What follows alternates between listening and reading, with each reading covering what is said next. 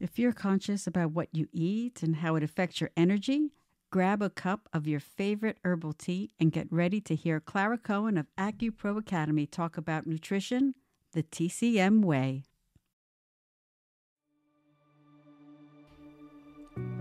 Welcome to Chat Off the Mat, the podcast that explores the transformative journey of healing and self discovery, where energy, spirituality, mind, and body intersect.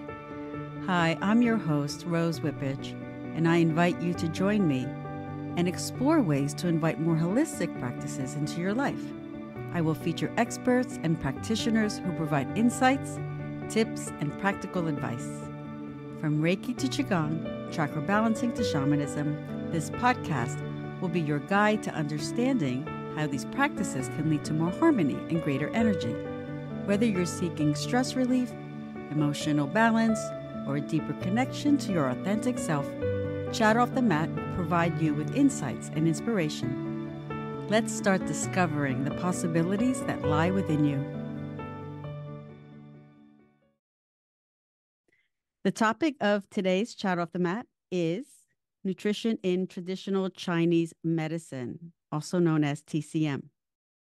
After you listen to this episode today and you listen in all the information and all the energy that my guest has to offer. I know that you're going to go to every social media platform that she's on and absolutely binge watch or binge listen because she is just a rock star. I welcome today Clara Cohen. Thank you, Clara. Oh, thank you, Rose, for having me. And I love the introduction. That's great. I'm like, yeah, come on in and binge oh, watch yeah. I feel like I'm the Netflix of Chinese Chinese medicine. You know, you are. You are absolutely, absolutely. I, I, because I know. I mean, I've been following you for many years, and as I was saying before we started recording, I, I'm not a, an acupuncturist, but I am a qigong teacher and and a yoga teacher, a yoga teacher, and I've used a lot of your information. And you have so many resources out there, which we'll put all in the show notes so much free information out there that anybody can use and it's it's fantastic. So today what we talk about today is going to be really for anybody to to um to absorb and to to understand and learn about. So we're going to dive right in and i would like to ask you just for our audience that doesn't know anything about traditional chinese medicine if you can define what it is yeah, that's a great question. So traditional Chinese medicine or TCM for short because it's so long, so it makes it easier. Yeah. So we're gonna we're gonna shorten everything. That's why we do LOL, you know. right. Um, so TCM is coming from China. Uh, at the root of it, it's been around for thousands of years, and you know, as time progressed, it there was an evolution to it, and it continues to to really change and adapt to our world and what's going on around us. So, Chinese medicine really looks at treating and helping supporting the health of people in three different ways. The first one is looking at the root cause of the problem. So we're not a band-aid. It's more like why this is happening, right? Where does that come from? Because if we know the root cause, then we can figure out if we can manage, support, or even treat and eradicate the problem. The second thing is we look at each individual in a unique manner as a whole. So we don't treat the disorder. So if you have insomnia and your sister has insomnia, even though your sisters, same family, you are two different completely individuals. So we treat you as a person as a whole with your insomnia and everything that entails your lifestyle, your diet, your sleep, your stress, your history, all this. So we treat the person at the root and not the disorder. And the third one is we are educators, we are teachers, so we are here to support you. However, we have to emphasize that if we are going to try to get to the top of the mountain, which means that's where your health is optimum, at the top of the mountain, you have optimum health, we will guide you to get there with how with our education as much as support as we can do, but you have to walk. We can't carry you up. So it is a partnership medicine and it's not just us doing the work, it's as an entity, you and us, like, or the practitioner and the patients doing the work together.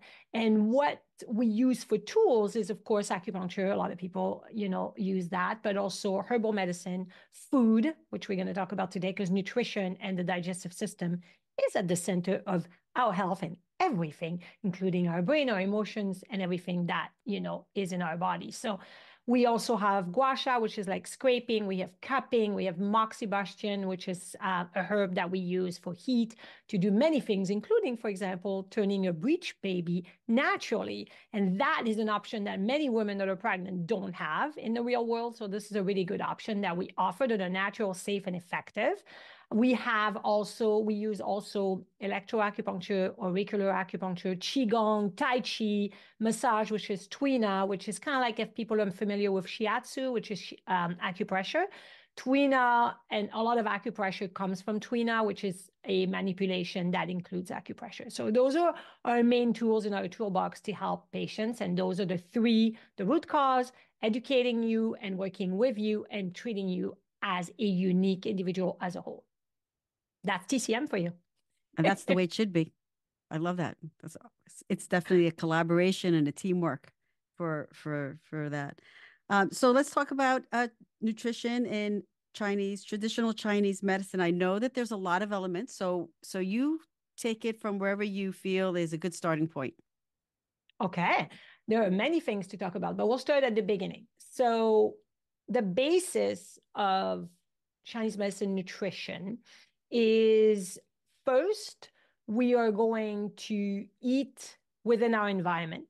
So wherever you live, you should have the food that is in your environment.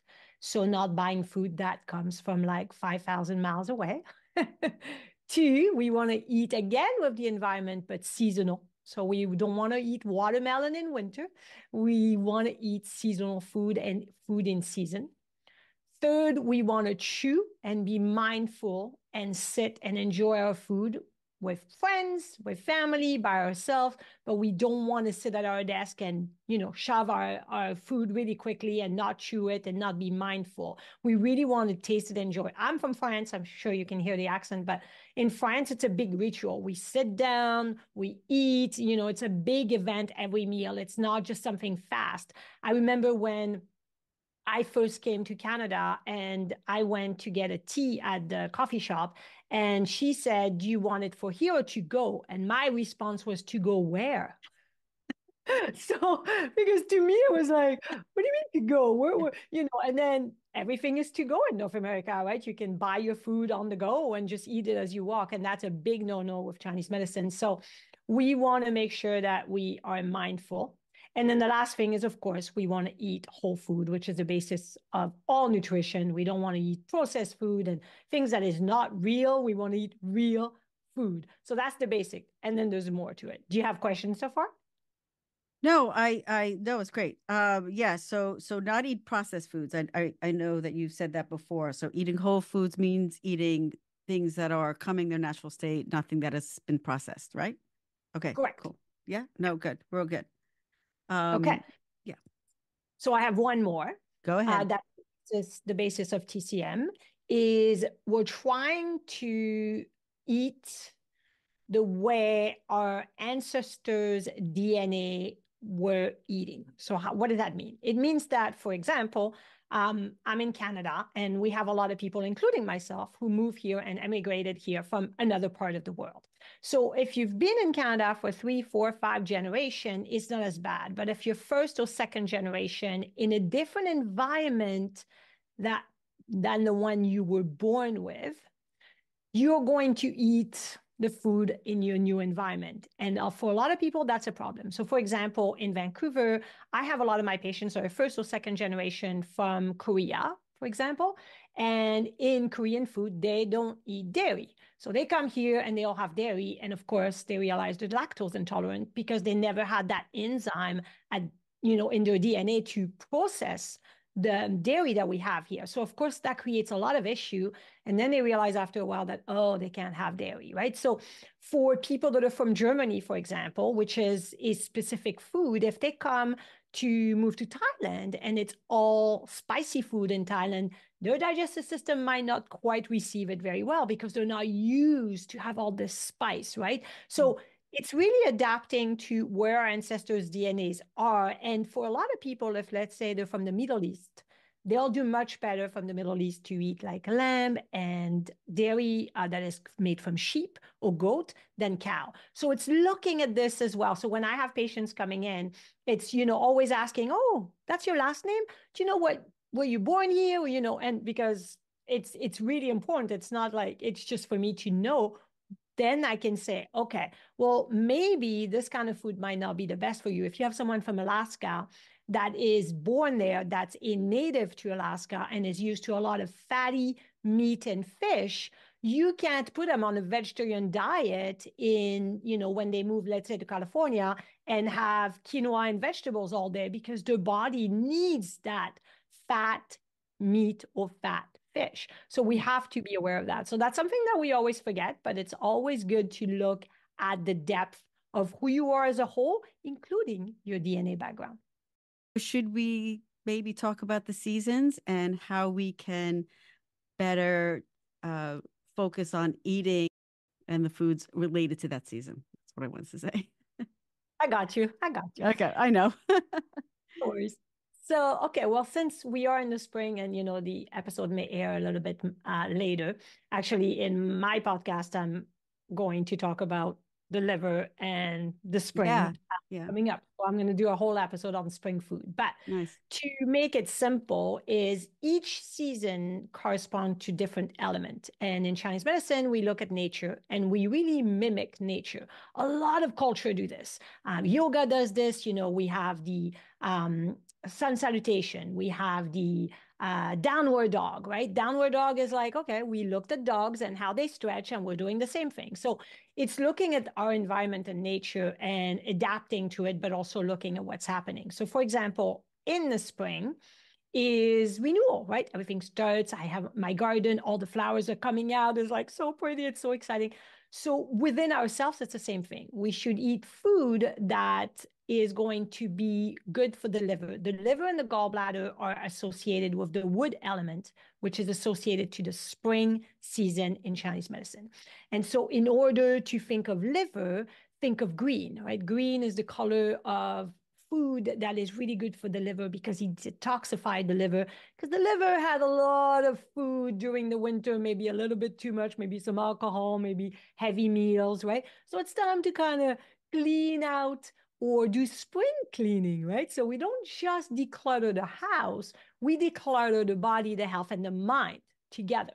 So at springtime, we want to declutter the mind, which means we want to start new things. We want to try new things. Everything is new, right? It's it's the beginning. So we also want to eat green like baby spinach, right?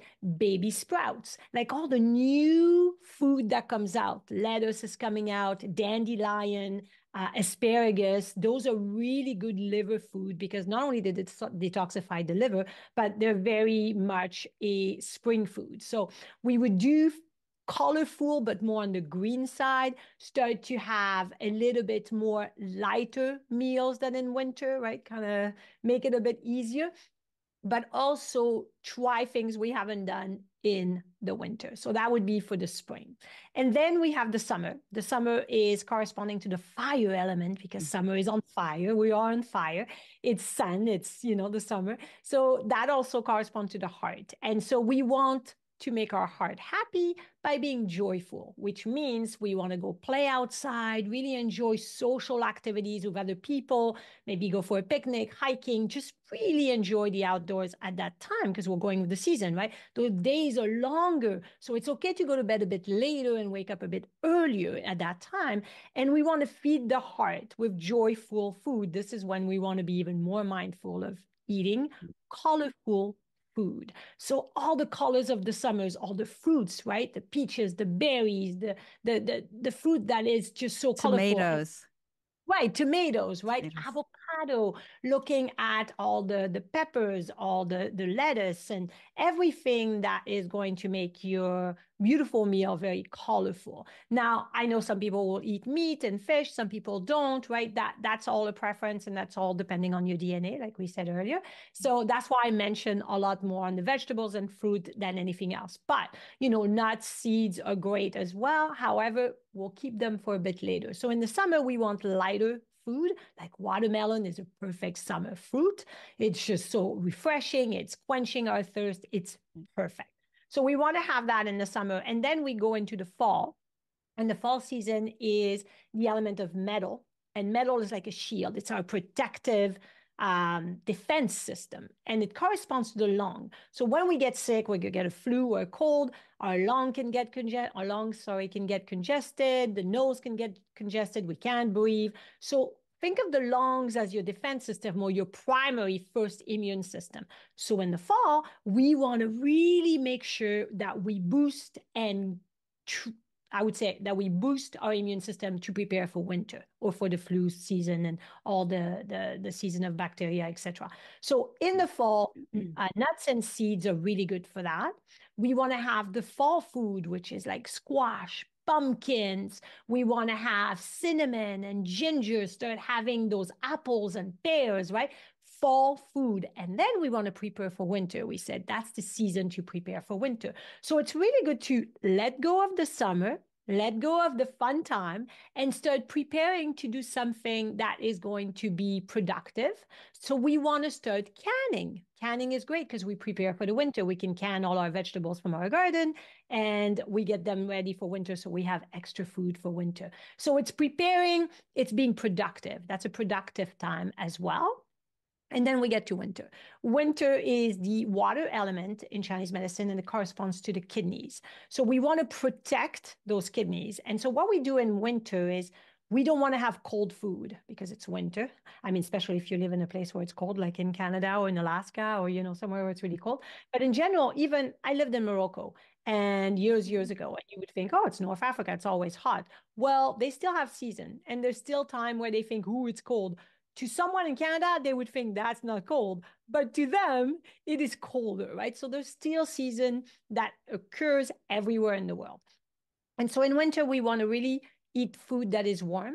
So stews and having soups with lots of vegetables, beans, and lentils. Uh, we want to have things that are going to be really nourishing and hearty. And a little bit of alcohol if you like it, because alcohol is a little warm. So you know, a little glass of wine. I'm from France. I'm going to give that to you. uh, so you know, that's what we want to do. And because you think of watching nature, the winter time you see a lot of animals hibernating trees, plants, everyone goes inward. So we have to go inward. This is the best time to self reflect, to go within, to meditate more, to be really self aware of what is it we want when it comes to spring again, right? Who we are, what's going on with us, really self reflect is the winter time. And this is when we want to do the opposite of the summer which was fire, right? Now it's water, opposite. We want to make sure that we go to bed early and have longer hours of sleep because it's darker, right? Even nature tells you it's dark. Stay home, relax, be introverted, read more, right?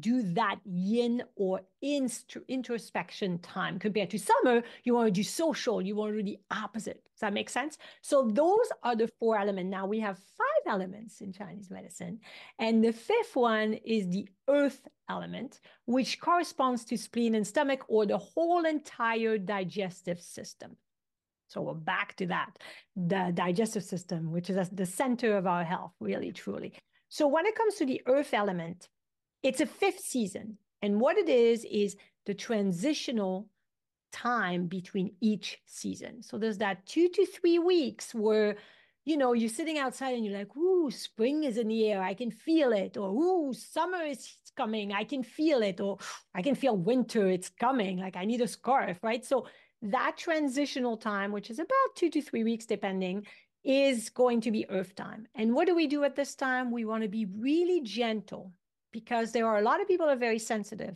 including myself. So if you are an empath or very sensitive person, you will get affected by the environment around you. So when the season changes, you will get more affected than other people. And I see this with patients. They'll say, Oh my gosh, I don't know what's happening, but I just don't feel good right now. I'm like, Oh, a season changed. And you're a really sensitive person.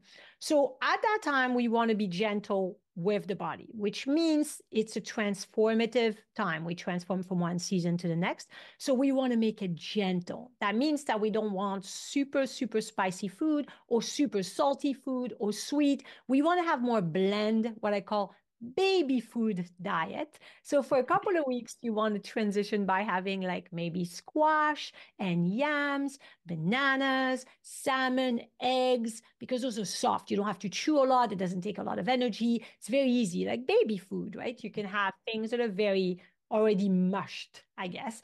And so we also want to know that there's a transition and there's a transformation and a change at this time. So it's also good to look at what happened in the last season and what we want to happen in the next one and be able to sit with ourselves quietly and do self-care because that time is really important for self-care. So get a massage uh, you know go do something that makes you really happy. Maybe you want to go and you know join a choir and sing with people because that makes you happy.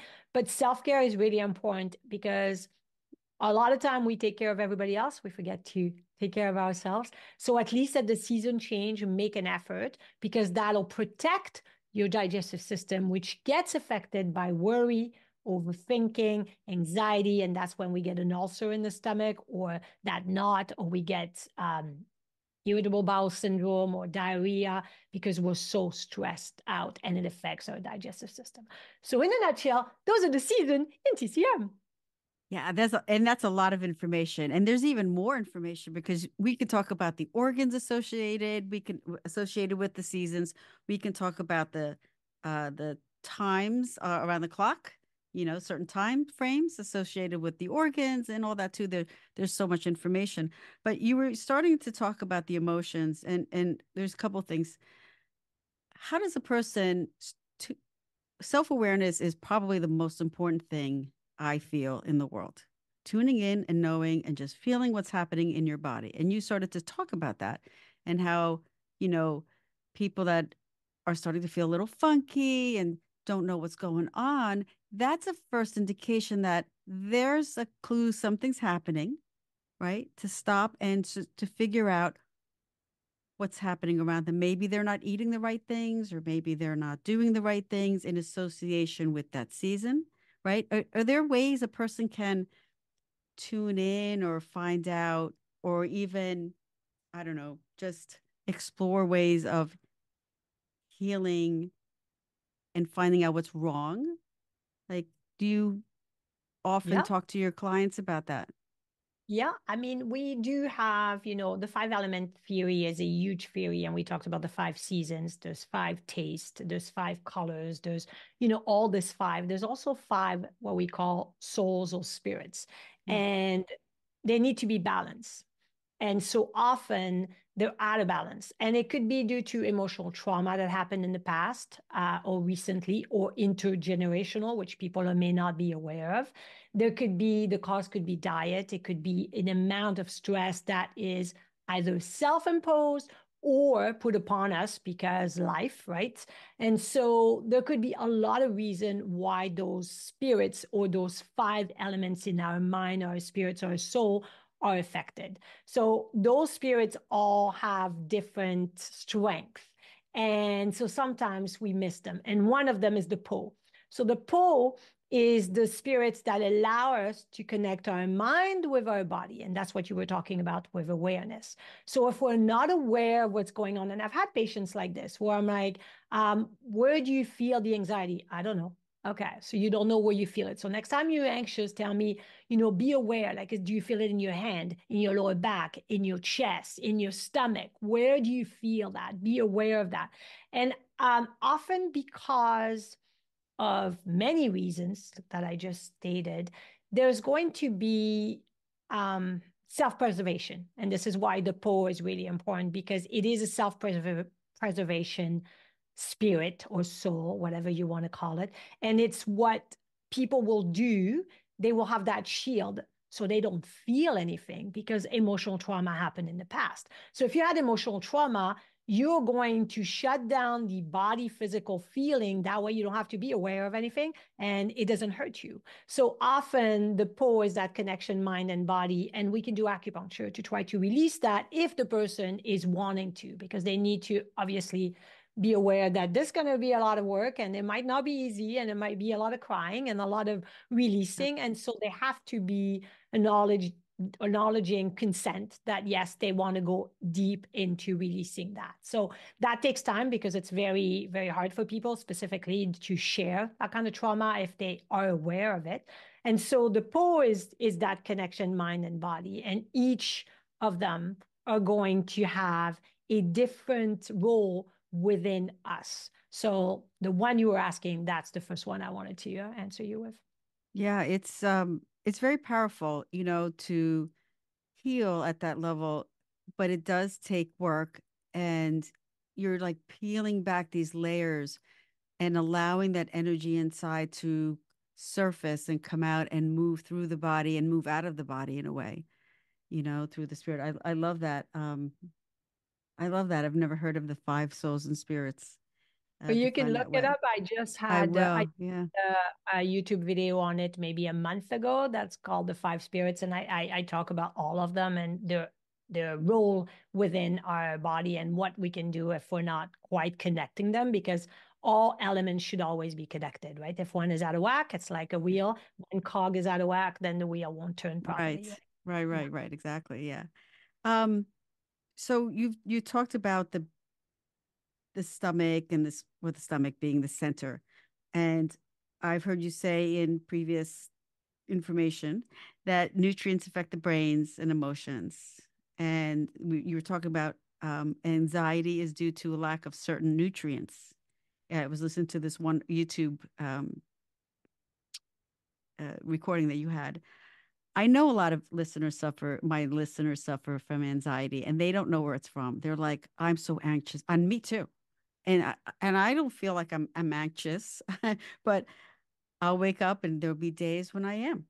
And you were talking about certain things that may be lacking as far as food or nutrition in the body. Can you can you elaborate a little bit on that for us? Yeah. So when it comes to certain emotion, I'll, I'll pick one that I think most people are really associating it easily is anger.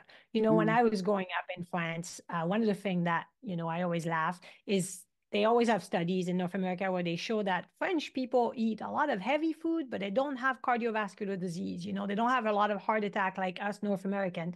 And I'm like, yeah, but they have a lot of liver disease because they drink a lot of alcohol. So they forget to say that in the so I always laugh because I'm like, yeah, their heart's not bad because they're joyful and they really take the time and they're, you know, but they drink a lot of alcohol. So um, I had a neighbor that uh, was the nicest guy, but then he drank a lot. And when he drank, he was the angry drunk, right? So anger really affects the liver. And so it's kind of chicken and the egg. If you drink alcohol, it might make you angry, right? So obviously, or if you're angry, you are really affecting your liver. So it's kind of like which one came first? Is it the diet that could, that really created the emotion, or is it something else that you know? So it's always looking at that way. So I'm looking at anxiety.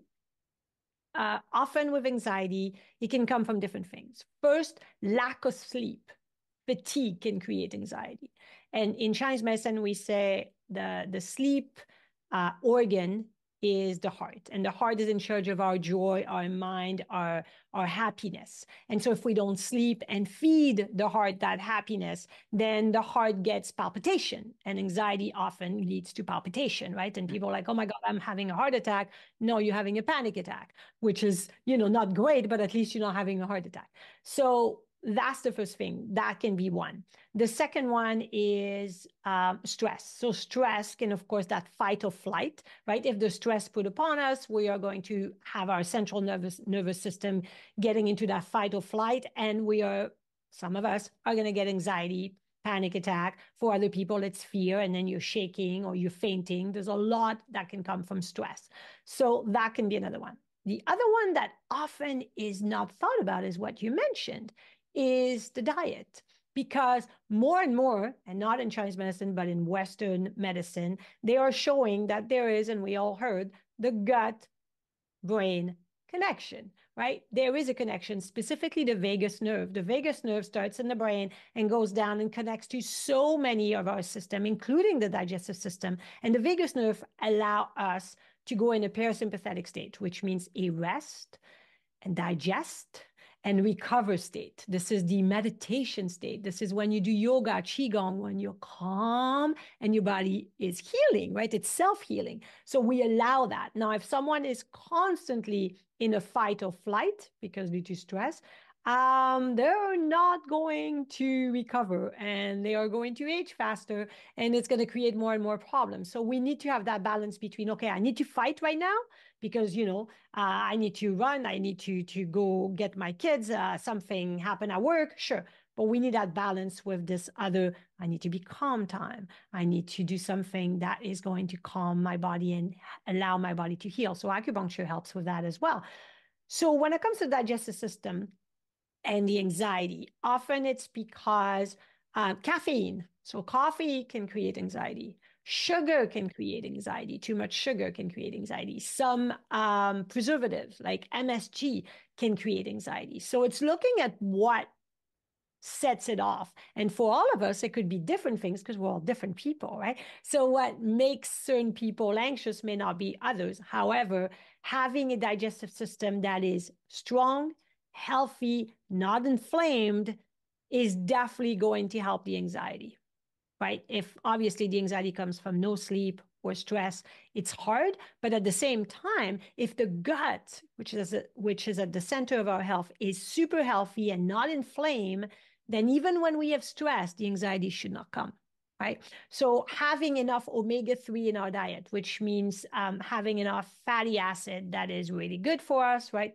So like salmon and having fatty fish, avocado, nuts, seed, super good for us. Um, for that brain, calm brain. Almonds are one of the best to calm the brain when there's anxiety. So, um, you know, having a few almonds every day to kind of keep everything level, that's really good. So, if when we look at the digestive system in Chinese medicine, the spleen and stomach, are in charge of the digestive system and they correspond to the emotion of worry and overthinking.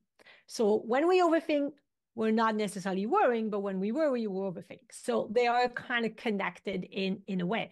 So students, for example, or people that do mental work in front of the computer all day really need to feed their digestive system even more nutrients for their brain because they use their brain so much, mm. right? Mm. So that's really important. Someone that has a lot of stress and worrying because their kids are sick, they have to take care of their mother, and they're a single person trying to make end meets. Of course, they need to eat a diet that feed their brain and they need to sleep. And that's not always easy because, as we know, healthy food is more expensive. you know. So, but so I'm not saying it's easy. I'm just telling you what Chinese medicine looks at. And so it's really important to have that digestive system strong. Another thing is the digestive system transform and transport every nutrients to our body for energy.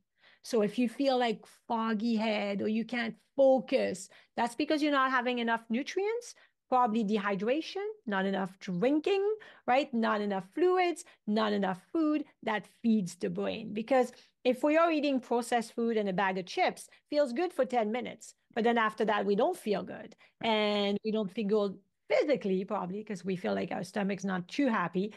But we also don't feel, feel good emotionally. So it doesn't serve us. It serves us for 10 minutes, but not for the long run, right? So we always have to think the long run? How can we eat to feed the body? Because, you know, we've all seen the, you know, the picture of someone that looks like they have all processed food inside them and someone that has all fruits and vegetables inside them. And it's like, you are what you eat.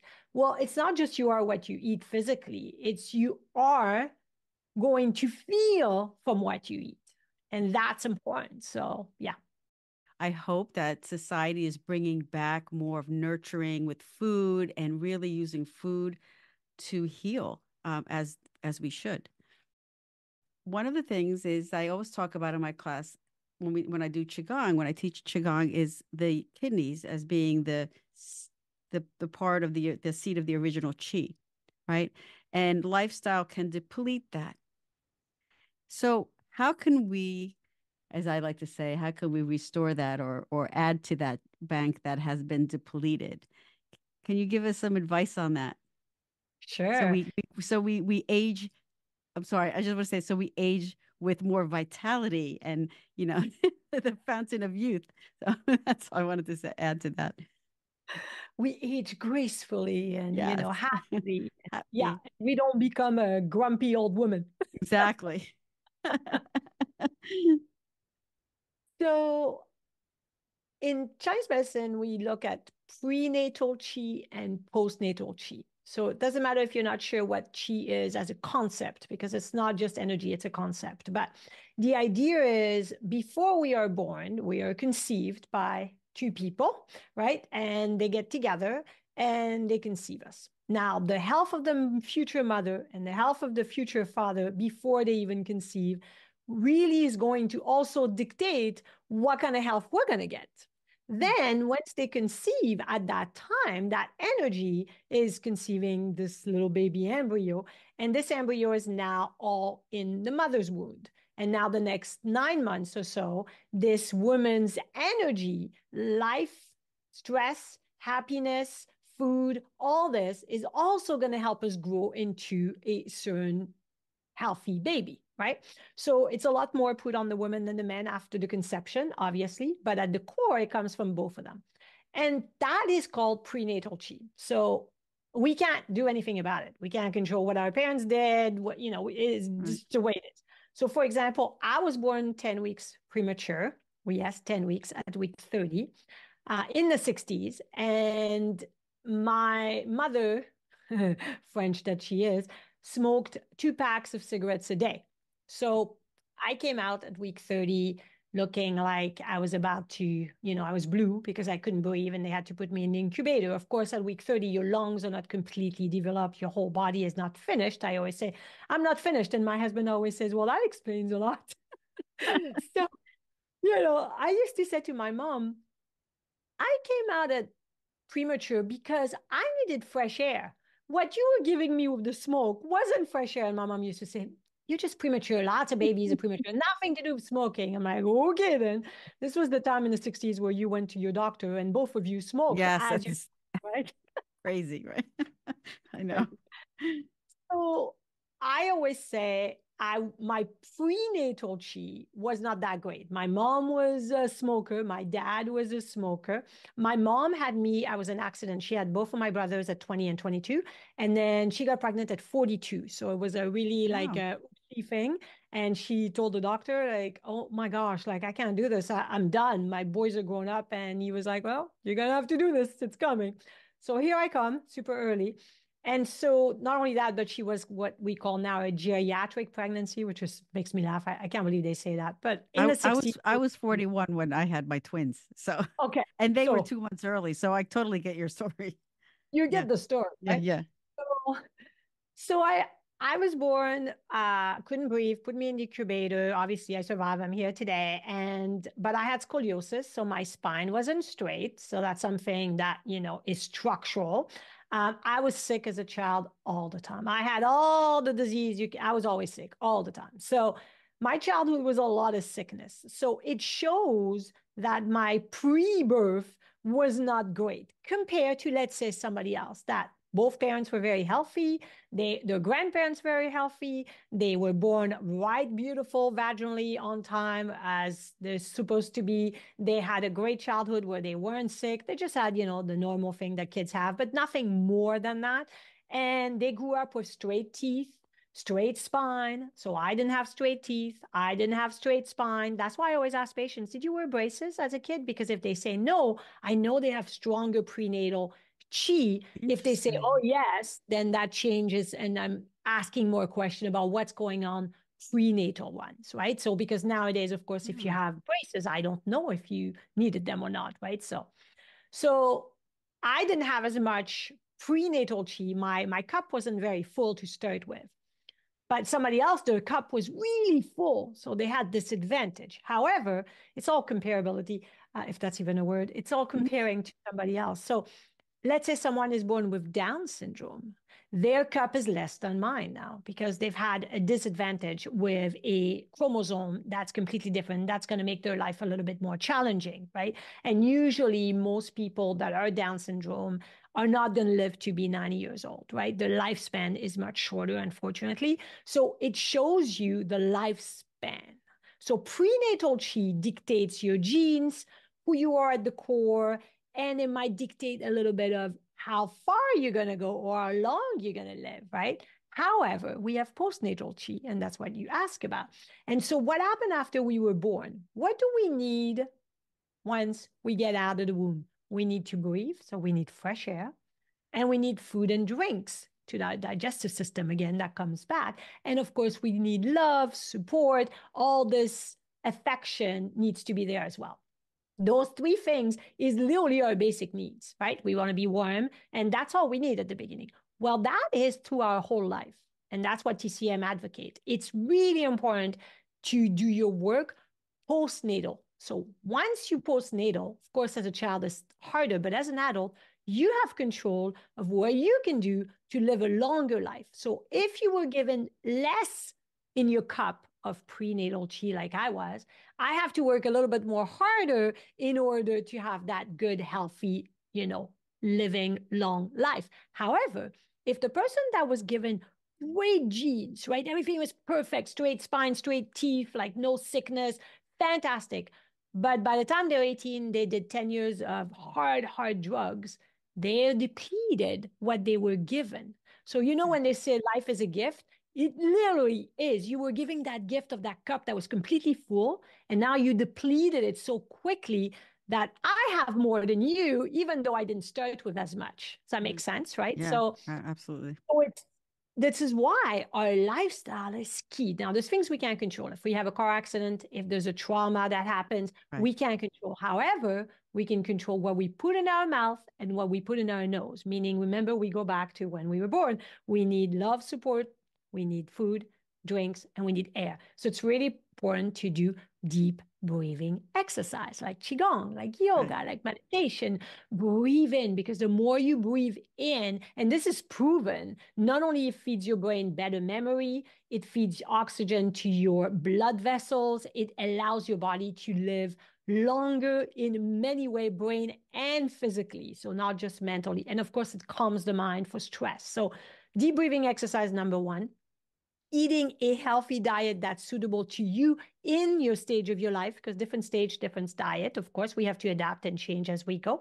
So that's really important to feed the digestive system. And the last one is love and support. We all need someone to be around us one two three people a family doesn't matter but we need to feel love and connected to each other. And social media doesn't count people. Uh, right on so touch is very important, right? Yeah. It's that that touch, that hug. Hug someone.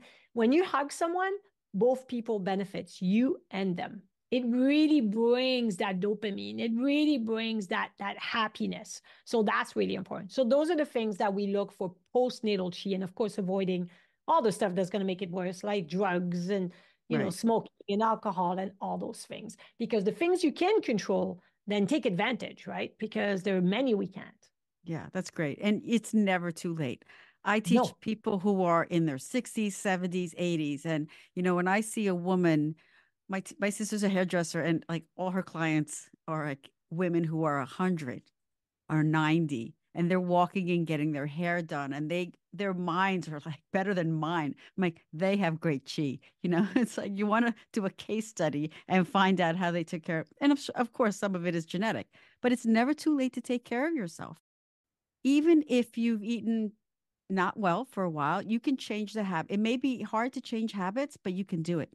You know, yeah. with, with with determination, with uh, overcoming some of the triggers. And I understand there's a lot emotional triggers can uh, lead people to eat um, not well or drink but with yeah. a desire to want to live longer and better and live your best life, you can do it. You know, you want to have healthy, great chi the rest of your life. I love that. Well, you know, um, I just uh, uh, just here a side note because yeah. that's true story. Uh, my mother, the two packs of cigarette a day lady, yeah. did when she was 17. And, you know, all our life, we are like, you got to stop, you got to quit. And, you know, she was like, leave me alone, leave me alone.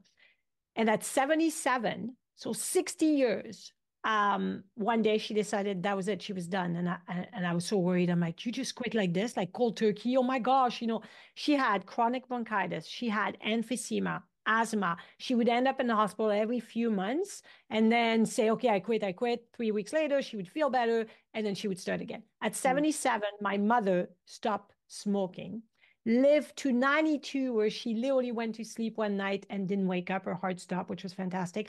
And not only that, but within two years, asthma gone, bronchitis gone, emphysema gone. So me, even at her age, she reversed the whole thing. That yeah. is a great story. I thank you for, for sharing that. I love that. Yeah, I I just um I just recently, well not recently, last year I quit drinking.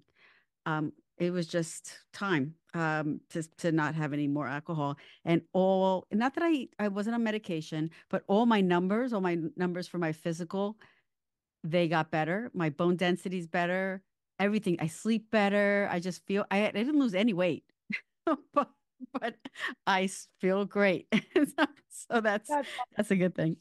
Women experience certain things. A lot of times we we talk about how bloated we feel and bloated can be associated with something that we're eating or not eating. Can you can you shed some light on that whole bloating thing and tell us how we can we can eh, what can help us? oh, the bloating. So, uh, yeah, the, the the part where you just want to close your pants and you just yeah. close those pants. guys like, never guys never complain about bloating. I don't know. I've never heard them say that. So there's something about us that we just uh. bloat, and I, I want to know what it is. well, some some people, guys that drink a lot of beer, I think they are oh, bloated, oh, but you know they don't admit it. They don't admit it. Uh, there's different causes of bloating. So one of them is stress, which is a huge one. When we are stressed, we know if it's stress because we wake up in the morning and our stomach is nice and flat. And then by the end of the day, we can't close the pants. It feels like, oh my God, right? That, okay. So usually that's stress. So that's the first one. So that tells you. So now we need to find ways to de-stress because obviously as the day progresses during the day, we have a lot of stress that will put upon us. And that's, you know, so we need to meditate more, do things that allow us to handle the stress because we can't stop it and not react to it, right? It's our reaction to stress. It's it's going to happen. Um, I'll give you a, a quick one because I think this is really, really impactful to me. So I'll share it because we were talking about old people, but it's a sidetrack, you guys, but you're to love this. I had a patient that was uh, in her 90s that came to see me one day, first time. And she came to see me because she was a little fatigued lately. And I'm like, okay, you're in your 90s and you're a little fatigued. I'm like, kudos to you. And so she comes in and she's from England. She's Britain. She's got this British accent. She's got the cute little outfit. You know, she's got the little blouse with the pants that matches. She's all in pink. She has the pearls. She looks like the Queen of England. That's yeah, what I called her. That's what I was thinking right? She looked like really picture her. And then she sits down. She goes, I've, I've always wanted to try acupuncture. And I was so happy to hear that because not every generation is, uh, you know, open to that. And she said, because lately I've been a little fatigued and I did all the tests and my doctor said, no, everything's fine. Vitamin D's fine. Iron's done. Da, da, da, everything's fine. So I'm a little fatigued. So I said, okay. So we started talking and we did acupuncture. She loved it. She she benefited from it. Her energy came back. It was from the stress. There was a lot of stress because she's older and her son was really sick. You know, he was in his 60s and he wasn't taking care of himself that great with his lifestyle. So, so that's a lot of stress. So that's where the fatigue came in. And so she got better and better. And so we started talking. And one day I said, you know, I want to ask you something because you're so vital. We talked about vitality earlier, right? I'm like, at your age, you have so much vitality. You look so good. And what would you say, you know, and this was over 10, 15 years ago. So I was in my 40s. And I said, you know, what would you say to someone that wants to know how to age the way you do so we can get to our 90s and feel and, and look like you do. What is the thing that I should do today, you know, in order to do this? And I thought she was going to say, Oh, I have a little whiskey, because sometimes she would talk about this because she's from England, right? a little whiskey. Not at all. She said, she thought she paused for a second and then she said, adaptability. Hmm. And I was like, okay, can you expand on that? And she goes, Clara, ride life like a wave because there are going to be waves that are going to be so big, it's going to be scary. And if you try to fight the wave that comes at you, small, big, whatever, you're going to take, it's going to take you under. But if you ride the wave, meaning adapt to change, don't ever fight change, it's constant, it's always going to happen. You're allowed to process it, you're allowed to feel it, but then ride the wave, do not fight the wave. And that changed my whole perspective because I was like, every time I'm stressed, I'm like, it's change, it's okay, just adapt. And that helps tremendously in having less stress because stress ages us faster. So I was perfect. So I just wanted that sidebar. Sorry. No, that was great because I've been going through some changes that were not chosen changes. And, and they're not big, but big for me enough. And now I understand where a lot of that, how I'm feeling is coming from because not that I'm resisting, I'm I'm just trying to adapt to it and and kind of ride the wave and and, and figure it out. So that was really a great story. No, I I totally understand that. So thank, thank you for sharing you. that. Yeah welcome. I figure I should because I think everybody that hears that story really benefits. So, okay, so go back to bloating because I'm very focused. I can come on a tangent, but I, have been teaching for a long time. go back to bloating. Um, okay, so another one is digestion, of course. So mm. if you are lactose intolerant, you will get bloating, right? And let's say we talked about people from Asia, for example, or like Korea could have that problem. So it's always good to know what you are sensitive to, right? And if we have also the wrong food, so not just sensitivities, uh, but also the wrong food. Let me paint the picture. You are sitting and you're like, I'm doing my body so much good. I'm going to have a nice smoothie with a lot of berries and bananas and all the fruits in the world, and I'm going to have that. Then for lunch, I'm going to have this beautiful salad with lots of vegetables and some carrots and broccoli and spinach and mushroom and tomatoes. And I'm going to make my little dressing. I'm going to have that with a piece of salmon, let's say, right? And you're like, wow, this is really healthy. This is really great. I'm so bloated. I'm feeling bloated just you talking. Okay. the thing is, some people do not do well with a lot of raw food. And I know there's raw food diet out there, and some people are fine with it, but we're not everybody, we are ourselves. So, for example, if you are cold all the time, like cold hand, cold mm. feet, you're the one that wants to wrap yourself, and you have a lot of salads and smoothies, be aware here's the awareness piece that you had your smoothie, within the next couple of hours, see how cold you are. You'll probably be freezing, right?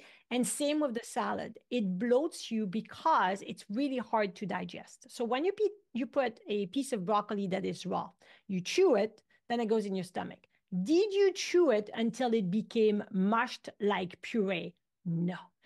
Did you do the same thing with the carrots? No, it's little pieces of carrots are going to be in your stomach. And now your digestive system has to work so hard to digest this food that is so like really hard to digest because it's raw and a raw carrot is hard, right? That's why older people usually eat more cooked food because their teeth can't handle it usually and because their digestive system it will go right through them and they'll have undigested food in the stool, right? right? So a lot of time raw cold food may create some bloating.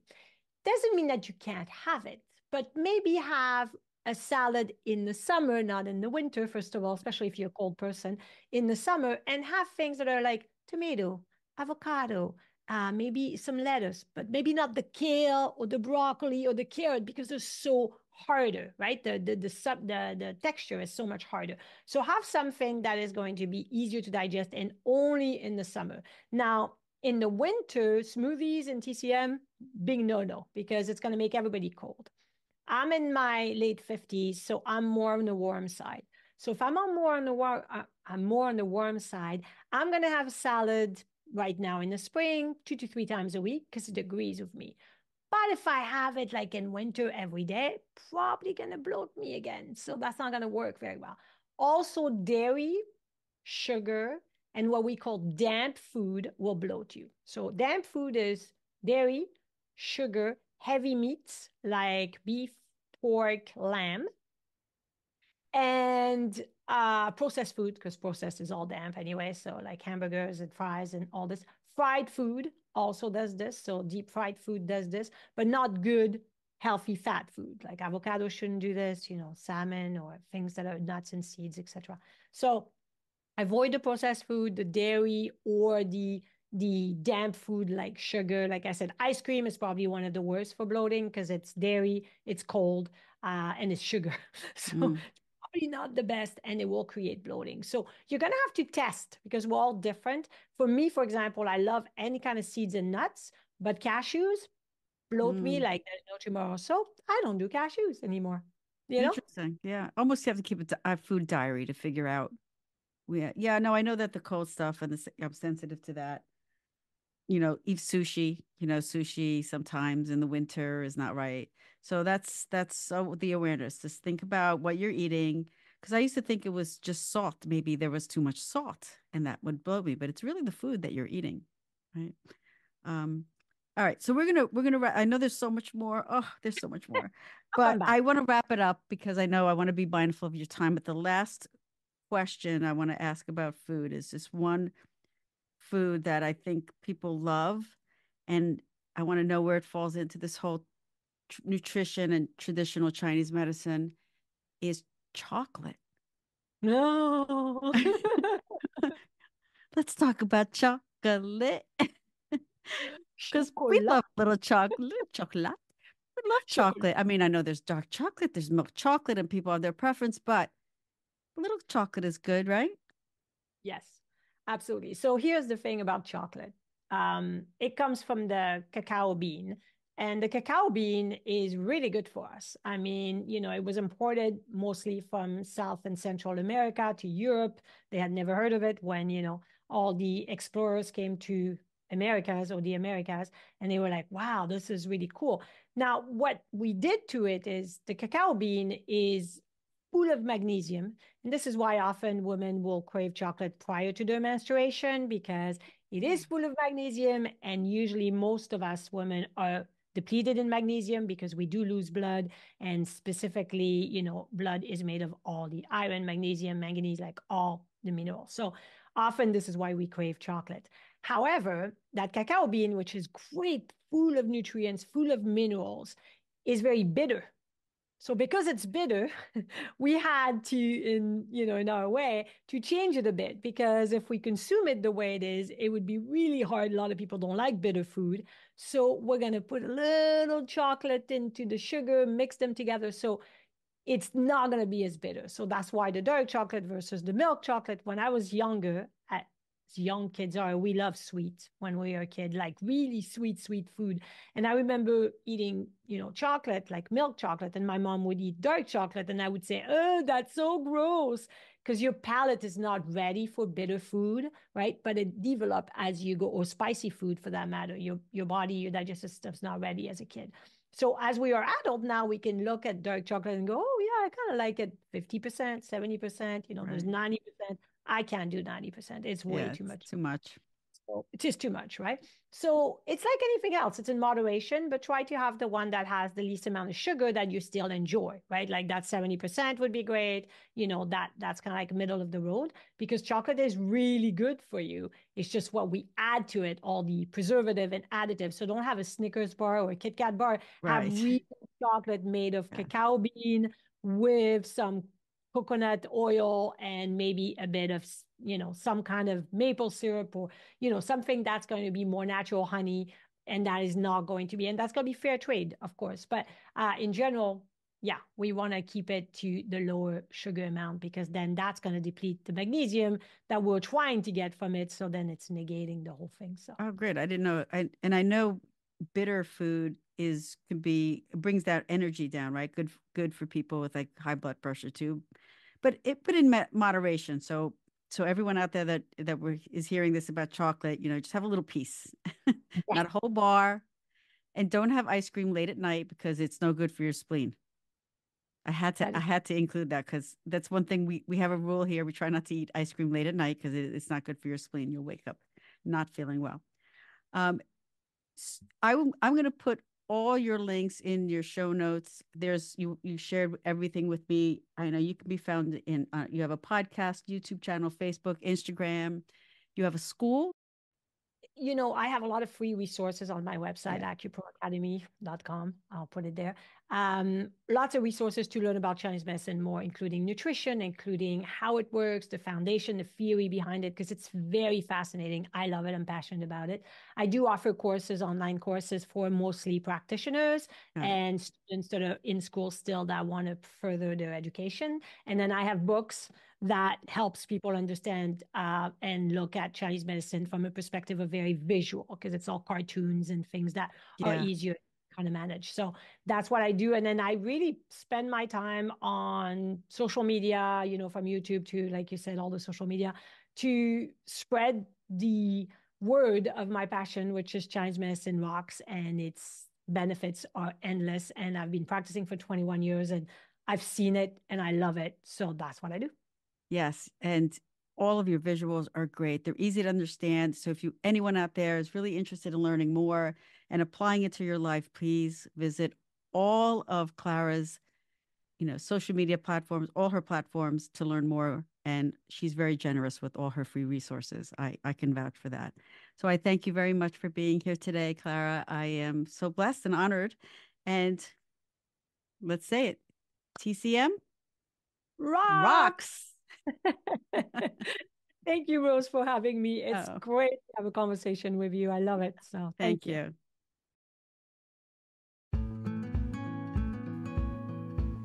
Thank you for joining me here on Chat Off the Mat. I hope these stories have inspired you. If you've enjoyed this episode, please share it with those who might benefit. Your support helps me spread awareness about the power of transformative healing. Stay connected with me on social media reach out with your own healing stories or topics you'd like me to explore in future episodes. Your voice is an essential part of this community.